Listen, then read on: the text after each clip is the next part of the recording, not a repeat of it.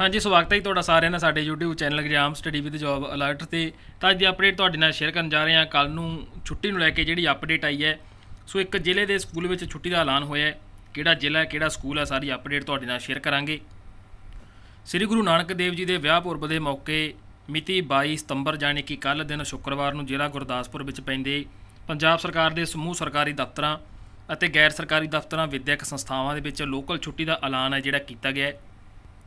Doctor Himanshu Agarwal IAS deputy commissioner Gurdaspur ਨੇ ਹੁਕਮ ਜਾਰੀ ਕਰਦੇ ਆ ਵੀ ਸਪਸ਼ਟ ਕੀਤਾ ਹੈ ਕਿ ਇਸ ਦਿਨ ਬੈਂਕ ਪਹਿਲਾਂ ਵਾਂਗ ਹੈ ਜਿਹੜੇ ਖੁੱਲੇ ਰਹਿਣਗੇ ਅਤੇ ਬੋਰਡ ਯੂਨੀਵਰਸਿਟੀ ਵੱਲੋਂ ਲਈਆਂ ਜਾ ਰਹੀਆਂ ਪ੍ਰੀਖਿਆਵਾਂ ਜਿਹੜੀਆਂ ਉਹ ਪਹਿਲਾਂ ਦੀ ਤਰ੍ਹਾਂ ਹੀ ਹੋਣਗੀਆਂ।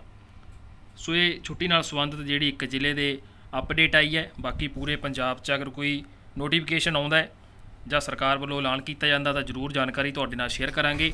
ਸੋ ਡੇਲੀ ਤੁਹਾਨੂੰ ਇਸੇ ਤਰ੍ਹਾਂ ਅਪਡੇਟਸ ਮਿਲਦੀਆਂ ਰਹਿਣ। ਚੈਨਲ ਨੂੰ ਸਬਸਕ੍ਰਾਈਬ ਤੇ ਨਾਲ ਜੋ ਘੰਟੀ ਹੈ, ਆਲ ਤੇ ਪ੍ਰੈਸ ਜ਼ਰੂਰ ਕਰ ਲਿਓ। ਧੰਨਵਾਦ।